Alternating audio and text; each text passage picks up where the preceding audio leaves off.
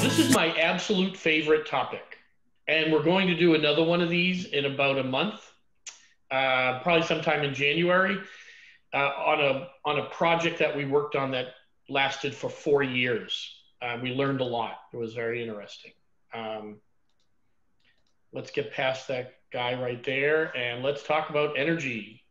It is the most important aspect of managing leaks, in my opinion, are are the results in energy. Energy and maintenance are very uh, tied together. You do a great job on maintenance, and you get some great results in energy. And there are two studies that I'm going to refer to very heavily throughout this entire discussion.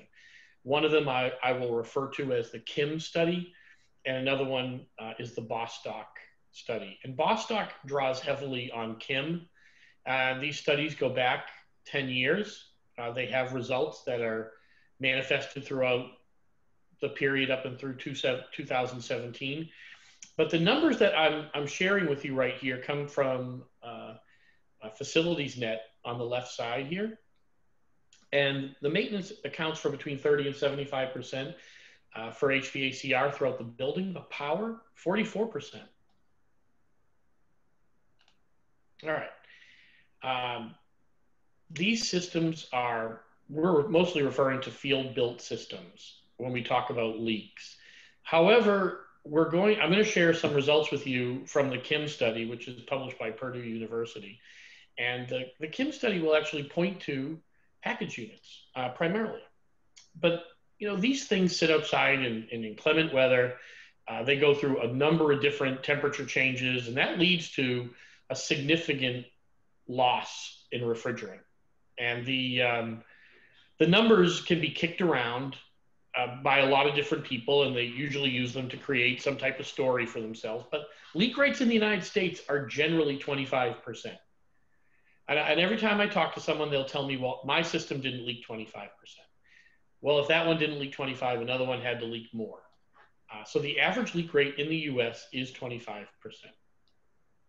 And that increase in leak rate leads to a corresponding uh, increase in energy. All right, so I've already talked about that. I beat this topic up constantly. And the system performance is dependent on the charge level in the system. And I want to point out, although we're here primarily to talk about undercharged systems, you know, systems that have leaked, overcharged systems perform equally badly. And I have some great charts to share with you on that and anyone can stop me at any time and i'm happy to talk about any of it because this isn't me giving a lecture. This is me socializing a topic. Um, and i think this one speaks for itself. Uh, and I, I pulled this this information from the kim study. And as you'll see here you know this is table eight from the study which is pretty lengthy. Um, the the narrative at the bottom there explains everything. And a lot of times you'll hear people talk about SEER ratings and energy efficiency. Well, none of those things are useful to talk about unless the system charge is accurate. So you can't get a good SEER rating even if you buy the most SEER efficient unit if if you don't balance the charge and get that dialed in correctly. Anyone want to ask anything? Steve, this is a great chance for you to jump in.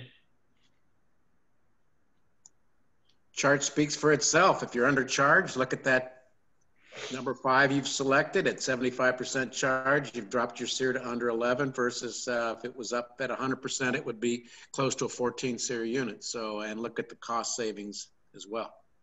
So you picked a good chart to show the, the difference in losing 15% of your charge in this case, yeah. 25% of your charge. Yeah, this was uh, this was actually a depressing chart the first time I read it.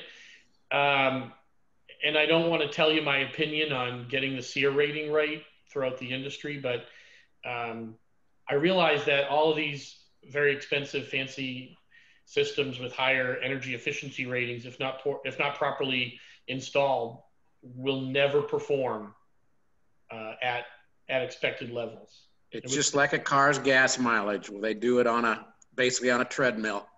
If you put it out in the wind, guess what? it drops. So AHRI does its best to get the SEER ratings right. And you're right. If you put it in backwards, undersized return ducts, under, oversized supply ducts, or whatever, wrong, wrong size piping if it's a field split system. Yep, it all adds up to. Uh, you're not going to get what's published and proven by the uh, agency that, uh, or the, the organization that does set those not the standards, but that measures the efficiency and rates them and allows them to hit the marketplace. Yeah, I pulled some numbers this morning, and um, I actually talked to a client. You know, for as we started this discussion a couple of weeks ago, and I asked him to do a favor for us, and he did. And they pumped down four units, and the uh, the closest charge in accuracy, the closest was at 80% of capacity. That's the closest of four units. I thought this was pretty shocking, and it was actually really nice that he did this for us. Um, the worst ratio, the very worst, was at about 50%. So, four units randomly selected, him and his team pumped them down and put the charge back and the original material taken out, all of these units were running. None of these were down for failure. Nothing was turned off. There were no alarms. They were operating as expected. And 50 to 80% charge capacity based on what the expected requirements were. So I, I was fascinated by that. All four, not one of the units was above 80% of the expected charge. When I saw this slide last night, I wondered what type of system was that? Of the four that I'm just mentioned, oh, oh, this one here. Oh, this one's actually an aggregation of a whole bunch of system types. And I'm going to share with you two of the system types now. But this was about six different system types averaged together. So uh, let's take a look. So here's one. Uh, so you can see on this one, I don't think I talked about the charge on this one, but uh, the charges on these were all under 50 pounds. And you can see, regardless of whether it had an accumulator or no accumulator, the energy drop off is significant. So the capacity, as it drops off in charge, goes down significantly, and it, and it's it is universally uh, similar. Does anyone anything you want to reflect on there, Steve? Any questions? And I have these no, reports; they're spread throughout all my computers, but it's it's consistent. You're under you're not at the optimum charge with uh, with your uh, proper charging techniques. Then uh, energy and performance suffers. It's that's that's the engineering rule.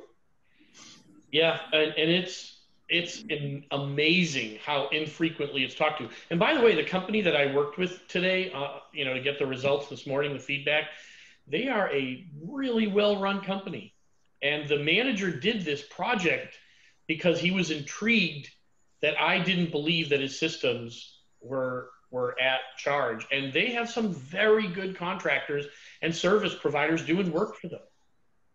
And, and you know, we talked about it, and I said to him, Well, when was the last time you brought the service provider in, you talked to them about the charge, and you had a conversation? And he said, We just don't have the time. He said, We're, we're patching things together, we're trying to keep maintenance budgets low. And he said, Ted, this is a sign that we're wasting a lot of money on energy that we could be spending on preventative maintenance. And I, I, was thankful to him that he did it, and, and he was kind of thankful to us for bringing it up. Um, but if you look here, each one of these examples, there are no examples in any of these studies. And again, this report, these um, graphs are from the Kim study as well. And you can see the drop off. And, but I want you to note right here the charge level if you can see, and can you guys see my um, here? If you let's see, if you see my my pointer, the um, the charge level at 100% is 100%. But look what happens over here. It, it still doesn't perform at optimal, right? It, it drops off. Performance drops off again. But boy, does it drop off when you've got a leak.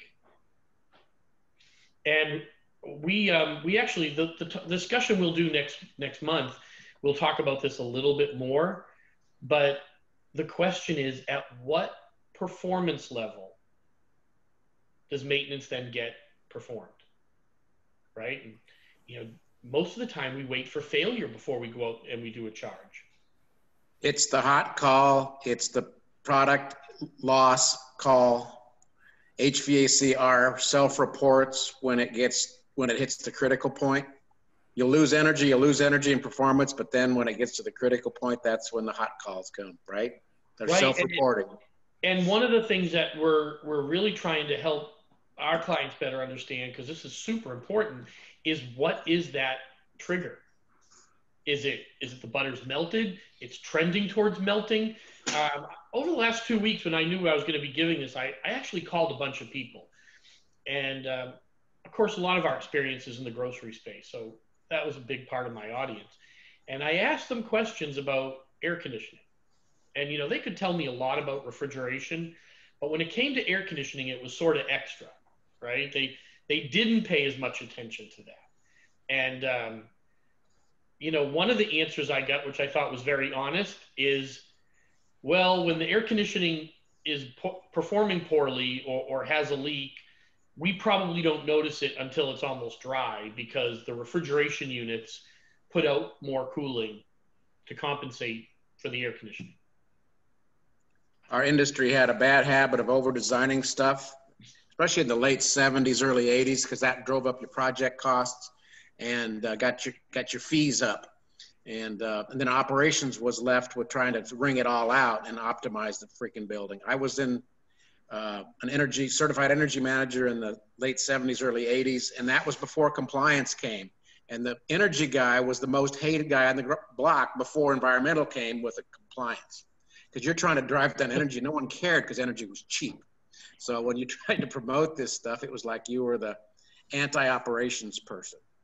So I made a few calls about that, um, and anyone's welcome to contribute who's on the call. What I found from the group of people that I've been talking to over the last two weeks, because I haven't talked about this for about a year. I, I, I, wanted to get an idea of what they were paying a kilowatt, and the number is around 12 and a half cents a kilowatt. So uh, the numbers got really significant, really big. Uh, and we're going to know more about that. We have a, a really interesting project that kicks off this month, and we're going to be able to share those results in about a year. And it all started because of a young group of guys out of Oak Ridge Lab trying to create efficiency in defrost cycles for grocery stores. And they thought, well, if we could solve this one grocery store problem, you know, we'll be millionaires. Um, what they didn't realize is the impact on traffic, uh, inventory, air conditioning, uh, climate. I mean, all of these things went into that that um, evaluation and that metric. And boy, it's going to be a fun study.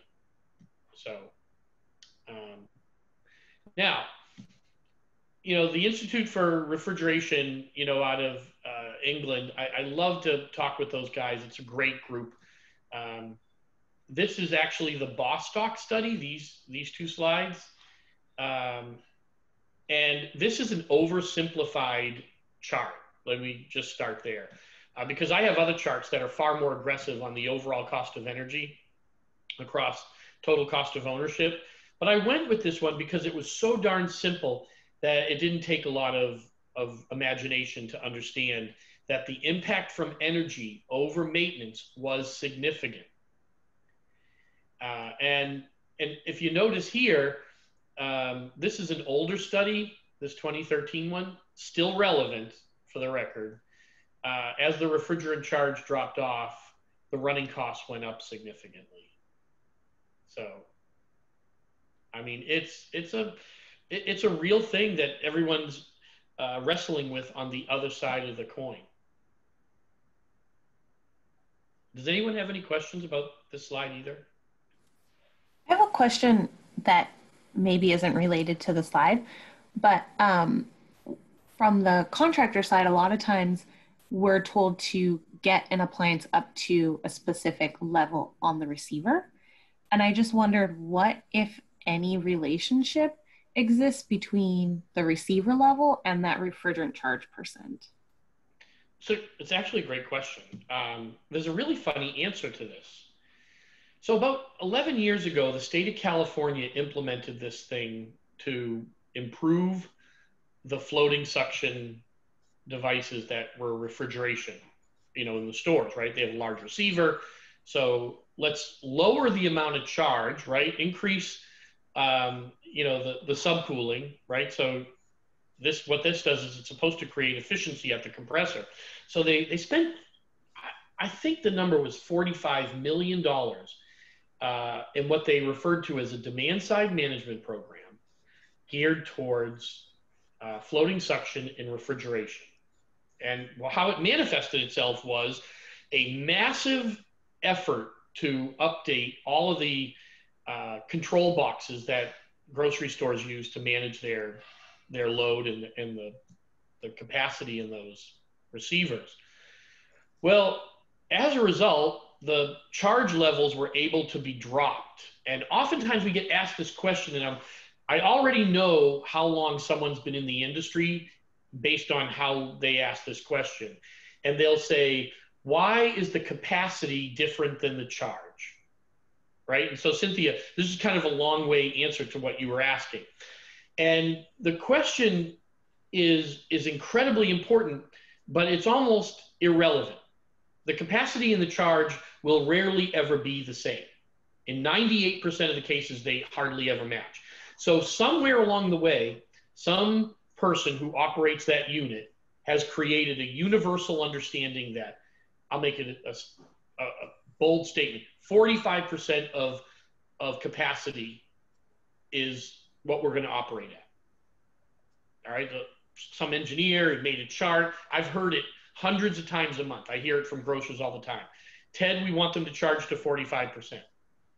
So let's say someone goes and adds 100 pounds of refrigerant and it goes from 45%, maybe it was down to 38, and now it's at 50.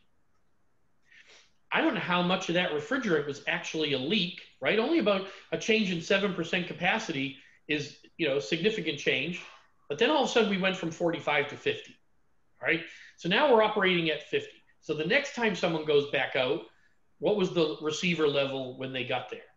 So we answer this question all the time, but we don't put it in context to what the, the performance expectations are. So maybe you had a 5% leak, you know, making up fake numbers, and, and you added 10%. So it looks like a 10% leak at that capacity. Does that make sense, Cynthia? Um, it sounds like there's not really an answer. well, there's a lot of information is. out there, and maybe each person kind of decides what they think is correct. But is there like an industry standard of no. here's okay? No, you're maybe right. It would, maybe it would help if we explain the purpose of a receiver. These were created before regulations. Uh, back refrigerants were cheap. It's to allow critical systems to operate under all conditions cold, low load, uh, leaking. In other words, our product has got to be protected. So we want the refrigerants cheap compared to you know losing the meat case. So that was the thinking in the beginning of these things. So a lot of these legacy systems have carried over uh, engineering. You know, they get the stuff in there, uh, put this size receiver in. Uh, in the old days, we'd run them at 90% or 100. You know, you don't want to be too much, but you know, then you'd you'd show up, you'd do less maintenance because the, you know, if there were leaks, uh, you got a longer period of time between them. So then regulations come along, and then cost refrigerant cost has gone up. So a lot, like you said, Cynthia, they're they're uh, putting these numbers on with no real, you know, it's what that store chain seems to operate at best. The lower you set that number, the more frequent you got to go out there, especially if it's a way far away store, uh, because you don't have that reserve. Think think of it as a reserve. Yeah, think of it as a battery. He's right. Extra energy exactly. stored up. It's, it's contrary. It's it's not good for compliance, right? It, so uh, it the lower they set it, the, the the more you know more service you might need if it's a if it's an old leaky system. Uh, but is that kind of you, you know you're you're heading down the right path. You're told to do this for that client, this for that, but in the reality, uh, you know, if you took all that receiver away and the system was properly set up the first time and, and, the, and there was no leaks, it was set up to operate with just what it had in there. So, the, so everything the receiver has is just extra to allow for longer running when the when the conditions are worse. And and it gets complicated because we hear yeah. people talk about like system charge, and a lot of these units are field built refrigeration. But if we look at air conditioning, the leak rates that I was sharing with you, these are all air conditioning systems. And as the charge gets more and more critical, the leak becomes more and more impactful towards energy. And, you know, I had a conversation, and I'm probably the worst person to call about this because someone will call and say, What should I do on my PMs for compliance? And I'll, I'll ask them, you know, what, what they're doing now and how they're planning it. And then I'll ask them how they tie PMs to energy. And they're like, Why is a compliance guy asking us about energy? Well, we're also an Energy Star partner, and you know we're very passionate about our, our environmental stewardship, and we don't want to see you save money on refrigerant emissions only to spend it on on uh, CO2 related to energy, right? So, so we're paying attention to all these things, and it's you know in your case, Cynthia, it's really it's an interesting opportunity for for service providers to talk to their clients about an energy audit at the same time you're doing a PM. And to do one or the other and not tie them together becomes a very um, insufficient uh, set of you know performance evaluations without an end in sight. Um, our, our clients, on average, the energy to maintenance spend is about 10 to 1. For every dollar in maintenance, they spend $10 in energy. So there's a lot to be made up there. But these numbers really show how the degradation in charge, you know, just the reduction in charge impacts both cost and performance. All right. Now, I pulled this from the Department of Energy's uh, website. These are, you know, so two of these, three of these we're very, very familiar with. Um, convenience stores, uh, I'm really fascinated by 560 kilowatts per square foot. So much cooling. I'll hear people say to me, "Well, we're not really concerned with compliance in the in the in the convenience store because it doesn't matter." Well, it, it does matter. Um, in the convenience stores we work with, our goal number for them is closer to 480.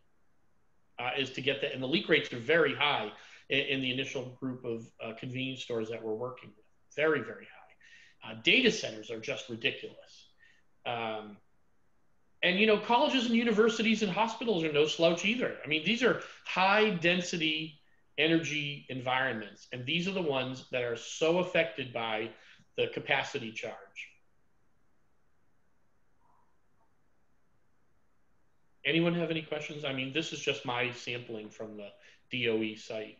I thought it was useful. All right, this is my favorite chart of the day. So this is the COP over the charge in kilograms, and I pulled this from an old study. Um, and I'm going to tell you when we talk about this next month, this old study will come up, and um, some absolutely fascinating numbers. Uh, and the study that we're going to talk about next month is actually from Abu Dhabi, and uh, they are not well, it's actually in Dubai and Abu Dhabi, and the um, they are really not an oil wealthy nation, and so it means that they don't really have free energy or low access. And how they see every barrel of oil is every barrel that they consume is equivalent to 10x in revenue for them at export. So they don't want to export any oil. Trust me. They, I mean, they don't want to keep any oil. They want to export all of it. They want to send it to us. They want to set up solar farms, and they want to make sure that their their um, uh, natural resources that they take out of the ground they can export. And uh, this this chart here kind of kicked off a very long uh, four year discussion. And I want you to notice, you know, what's what's exactly happening here, because uh, it seems uh, pretty obvious, but when you start looking out in this area and you start to see this drop off, right? So the COP, and you look at this degradation, it's significant. And it's it's equally bad on both sides. The only reason uh, this doesn't go over 140% of charge is you're full. You can't fit any more in. So that's the maximum. And you can see these are small charge systems. And I really like to pull things uh, from, from other areas because uh, what it shows is it doesn't matter if you're using a large system or a small system, charge, inappropriate charge leads to increases in energy. And being blind to it or not talking about it is is going to be a thing of the past because as we move towards a, a lot more AI devices, you know, artificial intelligence, um, what we're going to find is somebody is talking about this, even if you're not. Somebody is approaching a CFO in a company somewhere and telling them that they can drive energy efficiency. And if you're not part of the discussion, that means you're on the sideline. And if you're on the sideline watching and you're not part of the solution, then someone else is likely to displace you. So it's really a very important topic. I think it's the most important topic. Uh, actually, you can't get me to stop talking about uh, leak rates and energy impact. Uh, all right. This is from an EPA report in 2008. 10% reduction in energy uh, is equivalent to increasing the profit margin by 16% in a grocery store. Uh, man, when I heard this the first time, I latched onto it. When we talk to convenience stores, we ask them how many packs of cigarettes it takes to offset the cost of uh, refrigerant loss based on energy. Um, we worked on a Department of Navy study uh, and then got a copy of the study, and boy, what a absolutely amazing set of results. Um, the Navy's results suggest that doing no maintenance and operating equipment until failure is better than doing maintenance and just making sure you replace the unit at seven years. All right. Um, does anybody want to react to that? Because I know that shocked me, and if it's not shocking you, uh, that's scary. Steve, you want to say anything? Well, every Navy facilities management person I ever ran into had the most painted mechanical equipment rooms I'd ever seen. It seems like they painted everything, even if it wasn't working right. But it looked good. So if you got a pig, paint that pig, put lipstick lipstick on it. So that's kind of what I said, you know. Oh, you know, I I worked on a bunch of Navy ships over my career. I was lucky, and, and the guys would tell me that the cleaner the ship, the easier it was to spot the leak. Sure. So yeah, I get that. Um, I had cleaned up a upstate New York hockey rink uh, compressor that was it was because they had the guard off the shaft seal, so the, the, oil was going all over the ceiling and all up and down the walls. So it wasn't hard for an inspector to walk in and go, "I think it's leaking." So the last, last time I went there, that place was purdy, and they replaced the compressor and the shaft seals, and yeah, it was. Uh, they made it made it look good, even though it had past history of horrific loss. The Navy study is 1,100 pages long, and it cost the Navy over 100 million dollars to do this study. And I take that pretty seriously. I mean, I was fascinated by it. I read the entire thing twice, um, and I, I go back to it all the time still. Uh, but for the purpose of being efficient today, the two most easily accessible reports out there are the Kim study and the Bostock study. And you can find them. I can help you point you in the right direction if you need it. But one of the things that came from the Navy study was that systems running at less than normal charge had a 63% higher wear factor. And I want you to correlate that wear factor in a, a really one to one ratio of shortening its life. We even had one grocer that we were talking to about leak rates. Actually, they're more of a retailer. And what they found was that equipment on the highway side of the building, so the closer the equipment was to the highway, uh, endured a significant decrease in equipment life. And, you know, Cynthia, you know, I, I, I will refer back to you. I, but like if you're a maintenance person and you're doing work on an equipment, a piece of equipment, and you don't know what the expected life cycle is, and you're trying to keep it alive, but the the owners or the, the people who run it know that the equipment is only expected to live for seven years, uh, and you're trying to keep it alive in year 13 at, at a budget, boy, that's a hard job. Um, let's see, warranties, and, and Cynthia, stop me if you want to comment or just tell me to stop talking to you. I can do that too. Um, uh, chem chemical sites, uh, salt spray sites, the more the closer you are to the ocean, obviously, and closer you are to harmful chemicals at a plant. I mean, sometimes air-cooled equipment, we get four years, and that was coated equipment that left the factory that was coated uh, but it didn't take long for the coating to get nicked or whatever, and then the corrosion to build up under the coating. You might get four years out of something that was, you know, ASHRAE or uh, says 17 years. So it also has to do with what's the environmental conditions this equipment's living in. Yeah, by the way, that equipment that I mentioned from this morning was um, not all the same age, uh, oh, between 13 and 15 years old, I think is comfortable to say based on what he told me a couple of one of the pieces he didn't know how old it was. The nameplate was gone, uh, but this is related to the age issue. And um, he was really funny. He said to me, uh, "Well, now that I know what's happened, I'm I'm going to put them in for retrofit." Said, "Well, why don't you just replace them?" you know, it's not my money. And and he said, "You know, that's a good idea. Maybe I will look at replacing." His immediate thought press was thought process was use my maintenance budget, not my capex budget to fix this. And when I mentioned that to him, he goes, "Oh, yeah, I guess I I should have asked somebody else." He said, "I, I you know, he moved on pretty quickly, but um, age is a big deal. You know, you're retrofitting a 15 year old unit that's had leaks or is operating below capacity, and anyone who's done service, you know, you walk up to an old chiller or old um, uh, rack, and you go to, they tell you, oh, it's got about 800 pounds. You pump out 400 and, and they're going, well, okay, that's that's expected. And that thing's running at 50% charge.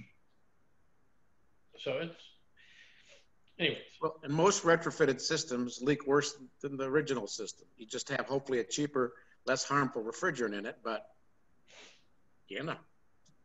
All right. Look, this is my my favorite topic. So I'm, I couldn't do this discussion without talking about the sustainability impact, right? I mean, that's why we get out of bed every day. Um, the energy impact is at least, at least four times more in CO2 than the impact from uh, the material emissions over its life. So we always hear about HFC emissions, and here in the United States, we we vent around 600 million pounds a year. Um, it might be 585, but I'm I'm rounding uh, to 600. And, and no one really knows the exact number because of the way uh, we track uh, supplier gas and end of life. But um, those 600 million pounds will have a significant impact on energy. So,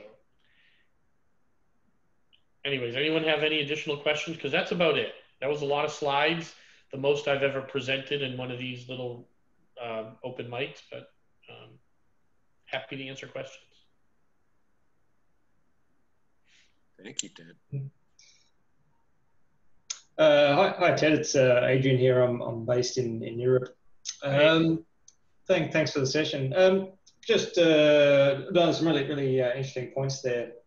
I, I was just going to uh, ask a bit of a general interest question around. Uh, you mentioned uh, sort of 25% average leak rates across the US. Um, in, in, my experience, I've sort of seen the, the supermarkets sort of towards the sort of 30% end, and and perhaps over this way, the the, the air conditioning chillers more towards sort of maybe uh, 10%. I was wondering if that was sort of reflected in in your sort of experience there.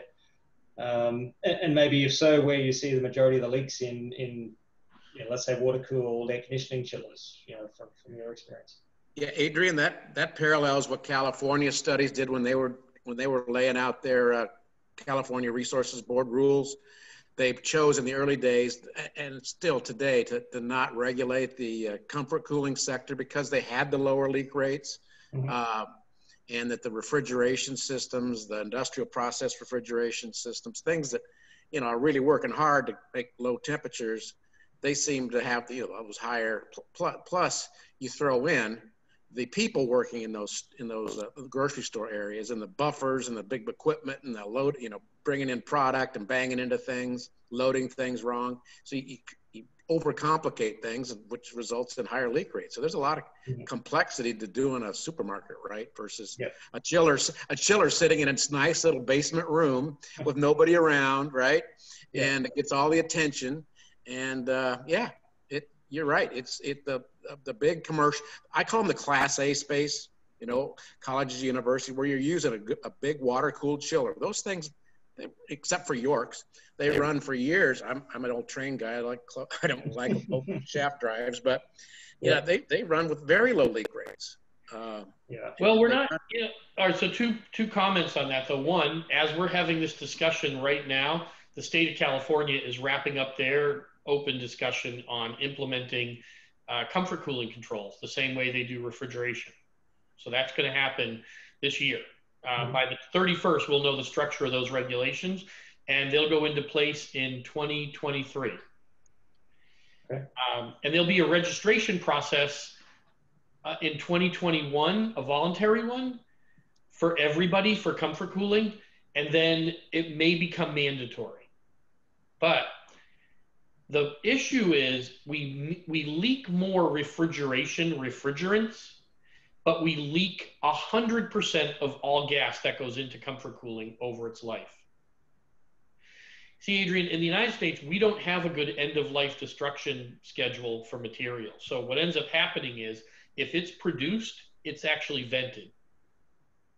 Hmm. Only about 3% of all materials are destroyed in the course of a year, but most of that 3% comes from um, off blend chemicals out of the manufacturers. So if they hmm. produce. Yeah, that's interesting. Yeah.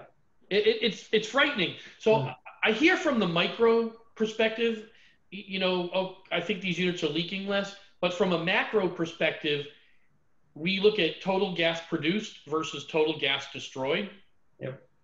And it's over 97% is vented. Yeah, yeah, it's scary. and, and another another complexity is a lot of the governments they don't um, they don't report emissions equally. So the Montreal Protocol reports uh, HCFC and CFC emissions, but not the GWP relevant to those.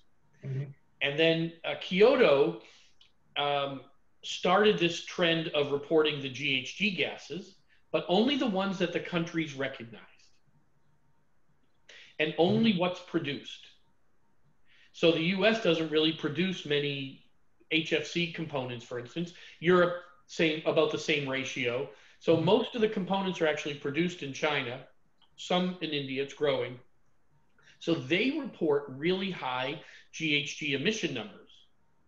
And after it's produced and it's shipped to the US, if we didn't produce the gas, right, and, and we didn't have any involvement in, in the plant, then in the same in Europe, those countries do not have to report it. So if we import 100 million pounds of 410, but we didn't produce it, the US will not report it on their GHG emission balance sheet. Mm, okay. All right. Yeah. My understanding for Europe is if it is imported already pre-charged, it, it is still um, recorded because you're probably aware they've got the quota systems in place. Yeah. For, for that now, especially around HFCs. Um, but yeah, I, I, I referred I, to Kyoto because we're not lucky enough to have a, a Paris Accord um, agreement. A Kigali yeah. agreement would be nice too, but we don't. Yeah, yeah. indeed, indeed. Okay. But anyways, I'm happy to share this with anybody. I, yeah. I talk about this all the time.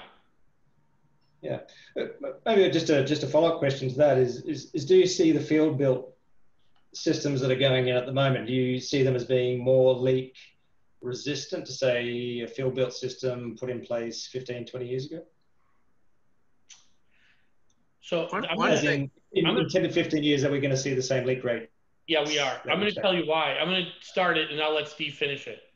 Yeah. 15 years ago, if you were to charge a system, you would almost have the full charge in the system before it shipped from the factory to be placed in service on a package unit. Today, those field charges are those charges that they leave the plant with are nominal charges, which means that the field has to then do an adjustment to the charge. Mm-hmm. And when they do the adjustment, this is where we see a lot of the problems. And so did the Navy, by the way. The US Navy found that field adjusted charges led to a, a, what they referred to as a bathtub curve uh, impact to life. So it, it starts off here and its ability to succeed drops down before it goes back up, which means for every touch that that system endure, you know, impact is impacted by uh, maintenance, it drops the um, uh, quality of the system's operation for a year. Okay. So, Steve, you want to? Adrian, welcome back. It's been a few, been a month or so since we had John, but uh, what I've seen, uh, been loading into our, our software product is uh, grocers that are trying to get away from the 50 pound rule. Can you believe that? Not only at the federal level, but at, in the California. We've even had these systems go here in Arizona, where I live, which isn't affected by uh, annual reporting directly to the to the state, but uh, they're using different things. So they're basically going to the under 50 pound charge systems. They're putting in water loops in a lot of cases, just like a water source heat pump air conditioning system.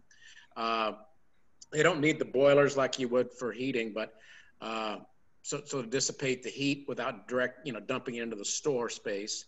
Uh, but I see a lot of that. We're getting some. Sometimes it's a, it's a it's a hybrid. We'll have the uh, uh, hydrocarbon cases, you know, right now at 150 grams max per circuit, but uh, we'll see a combination of those and you know HFC or HFO systems, uh, but, but with the loops and, and, a full charge under 50 pounds. So I'm seeing some of that. But here again, that, that complicates your service. You better have better maintenance in that case. Uh, uh and the leak rates, you know, it's eventually going to leak because we have the same factors. We have the people loading these cases, right? That that uh, mm-hmm. same people operating it. Just uh, you know, we don't have the massive leak. So you know, but it, it's to be seen whether what's the life cycle cost is the smaller systems less efficient?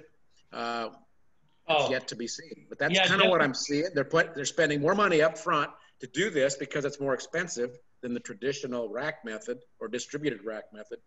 Uh, but it keeps it keeps so they're getting rid of the quote uh, regulatory cost.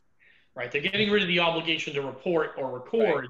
but it, we're we're not seeing any change in in leak rate at all. I mean, as, mm-hmm. you would think by 2020 we would see huge advances, but the so. emission rates are staying high. Um, maintenance teams are being challenged. The, and I think a lot of it starts with that initial field charge. When Trane Carrier, York, McQuay, anybody was doing an installation, they charge those units very well, very specifically. Now that they're being charged in the field, you don't see as many scales being used. The systems are often undercharged uh, to start. And then as a result of that, they perform poorly, which leads to a failure. That failure then leads to additional maintenance. And that's where we believe most of the refrigerant loss is taking place. I can I can speak to that as a person that used to host uh, people coming to La Crosse, Wisconsin, to see their their chillers run, to have the performance test based on the way they ordered them.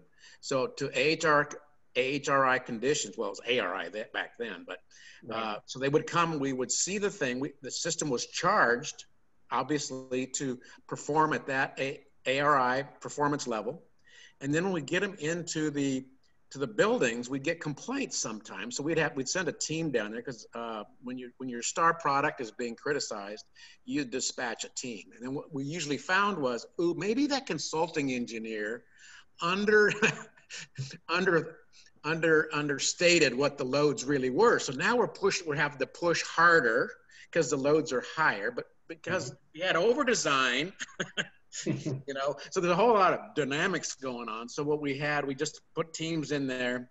We uh, then optimized to the actual conditions and then we got it charged properly right? And it might be less but it's it was typically more. And uh, then then you throw in the old R11 chillers coming back, and now we're going to do a, corporate overhaul and put in a new uh, three wheel optimized 123 wheels you know, keep the condensers and evaporators, and then you start all over again. Okay, so uh, all of these things have worked through, but yeah, it's it, it's yeah. a balance between yeah, what you get. Yeah, so the long answer is emissions rates have continued to increase with installed capacity at an equal rate. you do the best you can. Like I say, engineering and then operations has to live with it and make it work. What was that, Adrian? Sorry. No, no, I was just saying, yeah, they're, they're all, uh, yeah, scary but valid points. Yeah, well, uh, well done. Yep, it's uh, and that's why. So as we're talking, I'm I'm sure at this point California's wrapping up their call in about 40 minutes, uh, and they're implementing refrigerant and maintenance controls for uh, air conditioning comfort cooling systems. So and you know, the good news is there'll be a reference point there for improvement. And even though globally I don't expect to see those requirements go into action anywhere else, uh, although I think they would help, um, there'll be a good reference point. So create a dialogue between uh, maintenance teams and building owner operators and um, and discuss how to drive energy costs down. California actually, I don't think maintenance alone will will get this topic over the threshold, but the Energy Star program, uh, which has portfolio manager, requires a reduction in energy in in LA County by twenty percent uh, over the next three or four years. Elizabeth probably knows better than I do, but um, I think that's going to drive maintenance improvements. Yeah, fair, fair enough. Anyways, yeah, thank you. Thanks for joining. Um, if you guys want any uh, any of the information or you need the report, just email email us and I'll make sure you get a copy. All right. All right. Cynthia, any questions as we sign off? Did you fall asleep? um, no, I enjoy the discussion that goes, you know, beyond my expertise. But um, what you were saying earlier about the the individual who went straight to oh let's retrofit rather than replace we definitely see that a lot with our quoting and customers would rather you know save a penny today yeah. on the cost of repair than you know look at the long-term costs of what replacing the unit could save well, after today's discussion in California, I think that will change for you a lot out there. A lot.